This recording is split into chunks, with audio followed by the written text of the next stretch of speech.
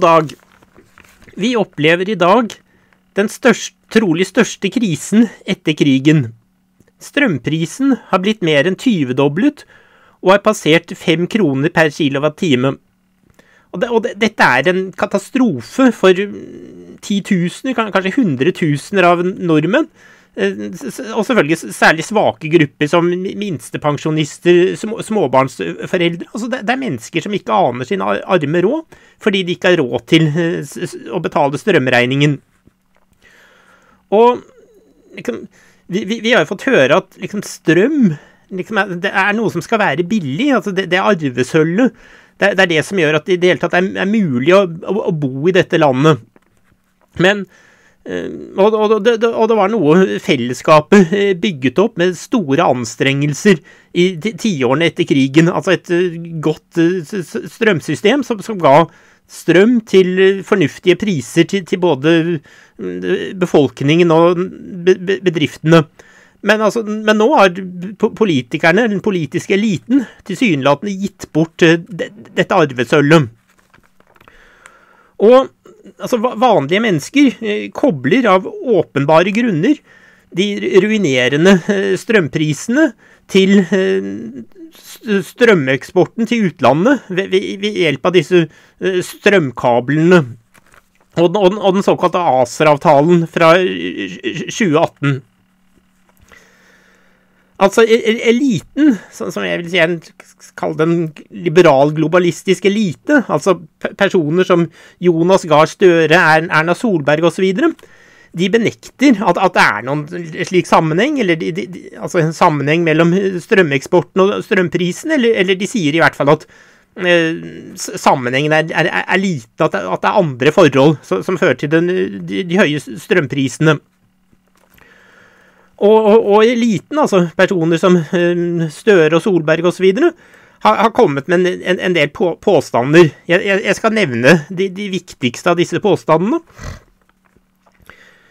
For det første så, så, sier de at vi ville hatt like høy strømpris uten eh, kablene. Altså kablene for strømeksport til utlandet. For det andre eh, sier de at eh, den høye strømprisen skyldes tørrår. Og den tredje eh, liksom, forklaringen de peker på, er, er, er Putin og, og, og, situasjonen i Ukraina. Eh, for, å eh, kommentere disse påstandene støtter jeg meg på artikkelen 'Støre trakk moralkortet i møte med fakta'. Det er en artikkel forfattet av en person som heter Kjell Erik Eilertsen, han er sivilingeniør og har bakgrunn fra, fra oljebransjen. Så altså, dette er en person som virkelig har greie på det han snakker om. Og, og, og denne artikkelen ble eh, publisert i Nettavisen 25.8 eh, i år. Og jeg skal nå eh, starte med å lese det, det som er på en måte hovedbudskapet til, til forfatteren. Da, han sier da kraftprisen i disse regionene, og da, da mener han Kristiansand, Oslo og Tromsø, var omtrent de samme frem til desember 2020. Da flyten til Tyskland var i gang, altså da, da mener han eh, strømeksporten ved hjelp av disse strømkablene, skilte strømprisen nord og sør for Dovre lag. Og da flyten gjennom kabelen til Storbritannia var i gang i oktober, økte gapet ytterligere. Så, så, så han sier at det er en eh, altså, klar sammenheng mellom eh, krafteksporten og, og strømprisene. Og, og det, det, underbygger han i denne artikkelen ved hjelp av en mengde faktaopplysninger. Han, han, har diagram som viser hvordan strømprisen i Norge har blitt den samme som strømprisen i Tyskland osv. Jeg, jeg skal ikke gå inn på alle disse detaljene her. Jeg, jeg legger ut eh, lenke til artikkelen, så, så, kan folk eh, selv se at eh, han har rett i det han sier. Men, men, men, i hvert fall, altså, hovedbudskapet hans er at det er en entydig sammenheng mellom eh, krafteksporten til kontinentet og, og de høye strømprisene.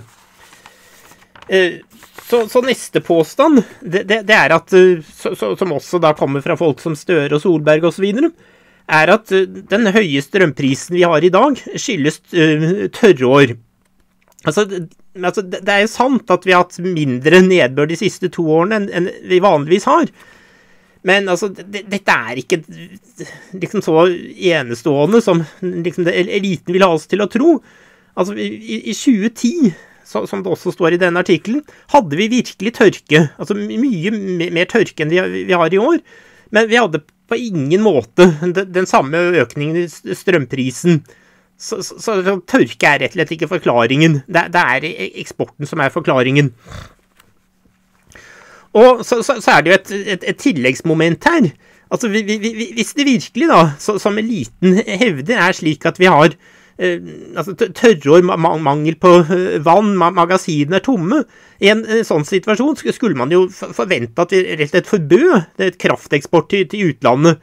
Men, men, men det, det, gjør de jo ikke. De, de snakker om tørrår, og, og, samtidig vil de ha uhemmet eh, krafteksport til, til utlandet. Så det, det, dette holder, det, det, henger rett og slett ikke på grep.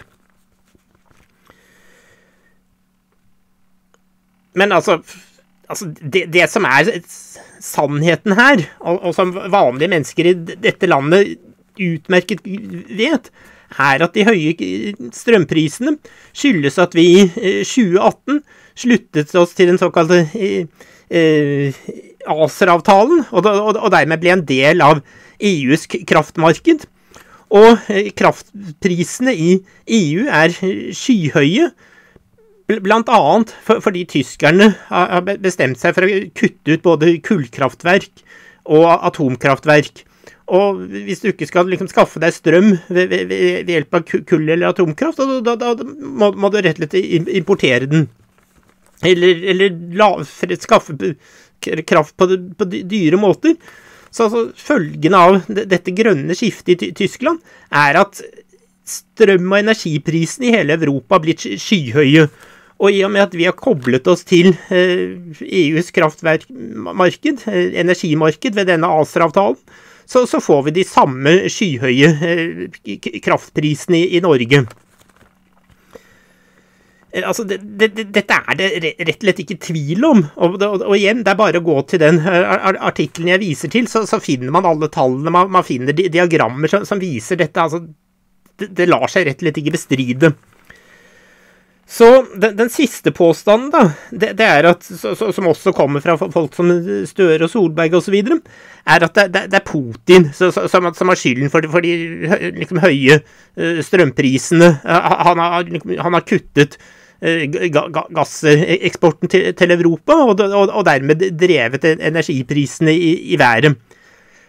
Altså, det, det, det, er jo sant at liksom denne eh, økonomiske krigen vi, vi, i dag har mellom EU og Russland, utvilsomt har bidratt til ytterligere å drive opp e-, energiprisene i, i Europa.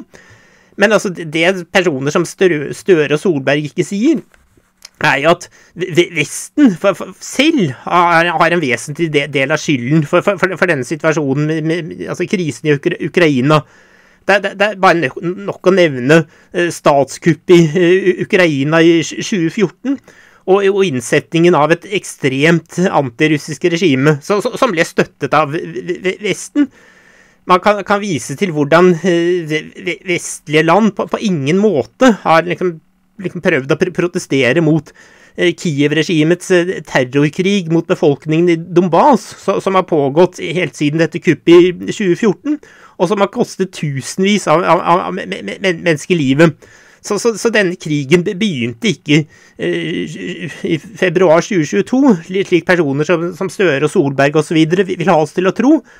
Den begynte med et vestligstøttet statskupp i um, 2014. Og et, et, et, annet moment er jo at Kiev-regimet, altså ukrainske regimet, startet jo en massiv bombardering av Donbas 18. og 19. februar i år. I, i det som trolig var rett og slett forberedelse til et militært angrep på, på Donbas. Det sto enormt med ukrainske styrker der. Så, så etter min mening så, så var den russiske militæraksjonen en legitimt forsvar av befolkningen i Donbas mot, mot noe som kunne ha endt i det rene folkemordet. jeg, jeg, skal ikke gå uh, videre inn på det, den diskusjonen. Jeg skal legge ut uh, lenke til en video der, der, jeg redegjør for, for mitt syn på statskuppet i 2014, terrorkrigen mot befolkningen i Donbas, undertrykkelsen av russisk språk osv. Så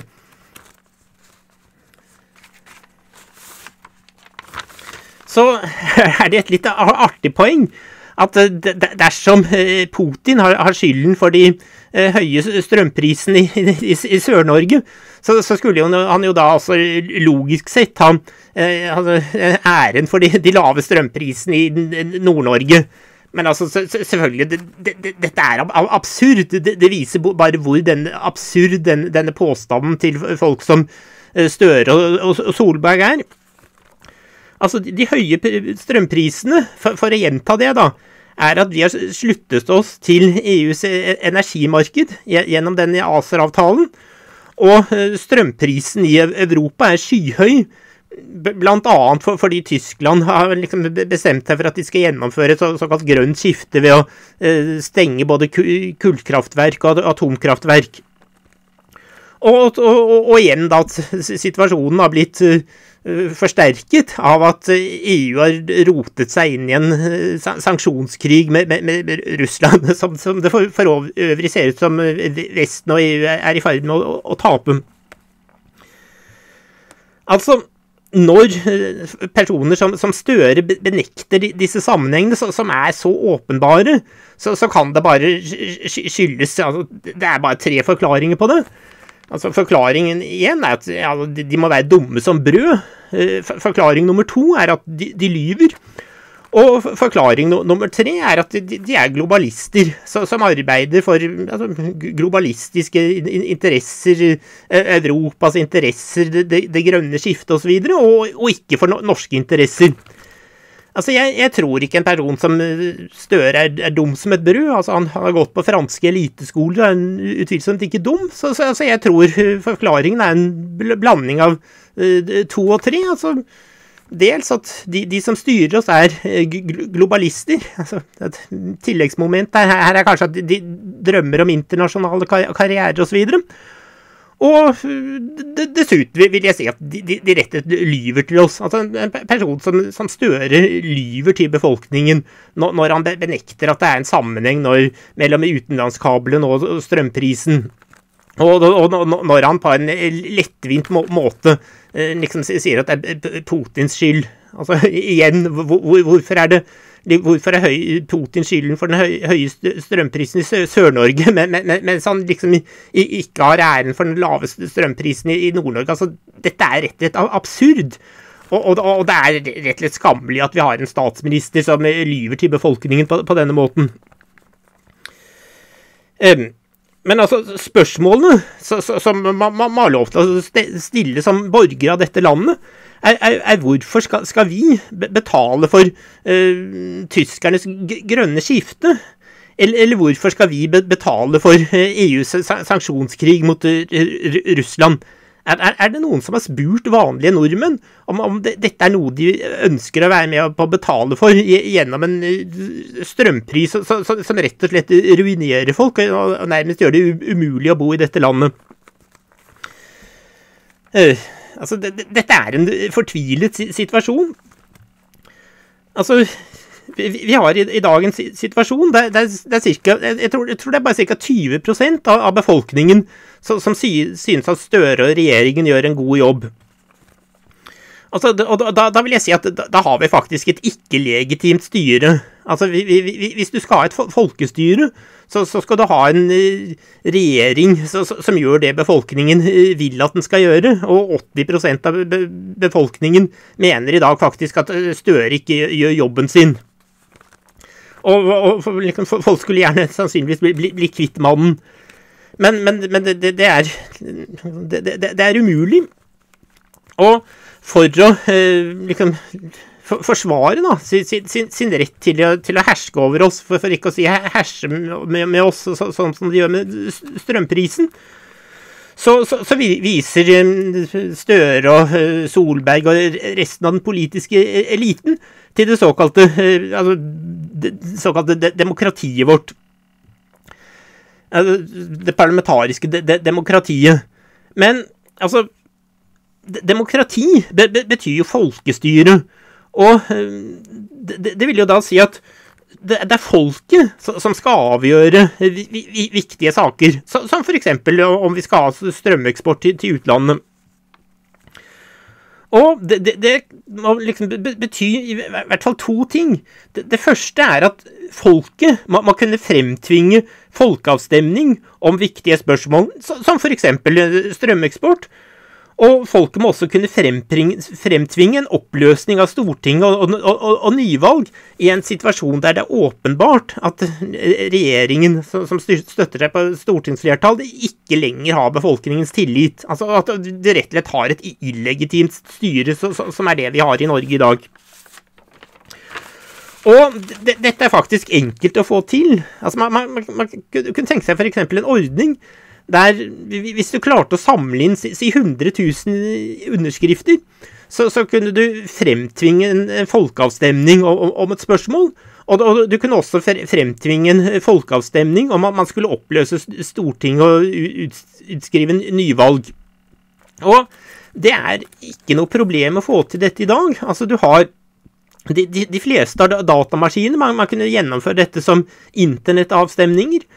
Og, og, folk som ikke har datamaskin, kunne stemme f.eks. på biblioteker eller andre offentlige kontor, kontorer. Så, så, dette er faktisk rimelig enkelt å få til. Hvis eliten hadde ønsket et, et virkelig folkestyre, så, så, hadde dette latt seg mm, organisere uten veldig store problemer.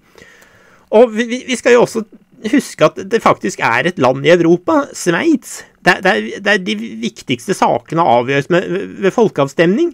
Og, og, og Sveits er et av de mest effektive og velstående land i verden. Så, så liksom Eliten sier at dette vil føre til kaos, det er umulig osv. Så, så da, da lyver den rett og slett. Men altså, folk som Solberg og Støre osv., de, de vil rett og slett ikke at vanlige mennesker skal bestemme her, her, her i landet. Og altså, hvis vi ser altså, hvordan fungerer dette såkalte folkestyret vårt Altså, det, det, det, går jo ut på at etter valget så, så kan de folkevalgte og, og regjeringen som, som utgår av, fra flertallet på Stortinget, gjøre hva den vil i, i, i tre og et halvt år. Uten noen form for kontroll eller reell innflytelse fra, fra folket. Og, og, når det så nærmer seg eh, valg igjen, så, så, så rører de i hop en eller annen sak som gjør at du liksom får en såkalt valgkamp, og du, du får et nyvalg, og så liksom får, du et nytt storting så, som igjen kan, kan gjøre mer eller mindre hva, hva, hva det vil.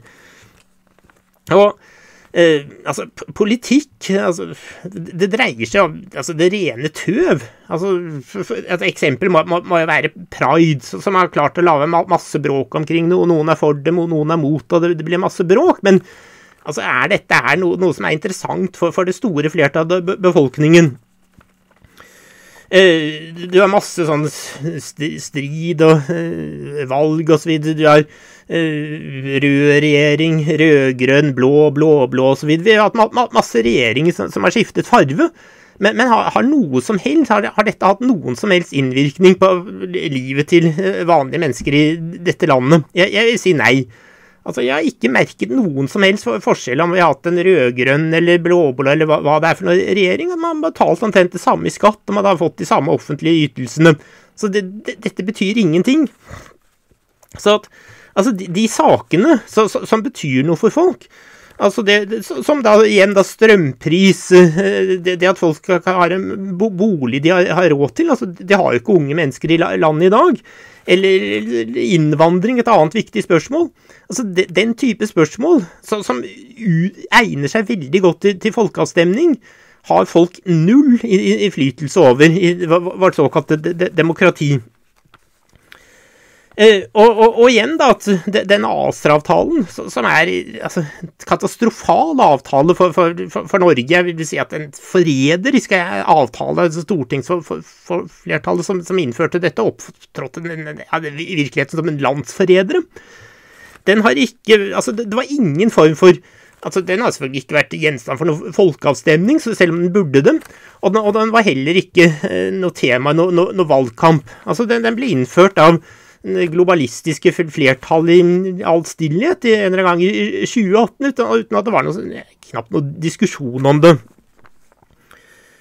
Uh, og, altså, og, og, og, igjen, altså, hva, hva, hva, hva, slags mennesker er det som styrer oss? Altså, disse eh, Jonas Gahr Støre, Erna Solberg osv. Altså, det, dette er mennesker som altså, de, de, drømmer jo åpenbart om internasjonale eh, toppjobber. Og, og, skremmende mange nordmenn har jo fått internasjonale eh, toppjobber. Og altså Jagland, Støre, jeg vet ikke hva. Og det, det, det, betyr jo at altså, de, de, identifiserer seg ikke med norske interesser, de, de identifiserer seg med altså, europeiske eller globalistiske interesser.